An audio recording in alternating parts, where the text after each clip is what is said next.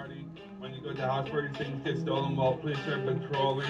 Nightclubs with loud music in the crowd. They're always that odd person who stumbles home. I have seen my friends turn into drug addicts and alcoholics at 8 in the morning. You can smell the liquor on them. Everyone's an odor on them. There are people with tears and pain inside of them and agony. You can see and feel the pain. There are people who break down in silence behind closed doors.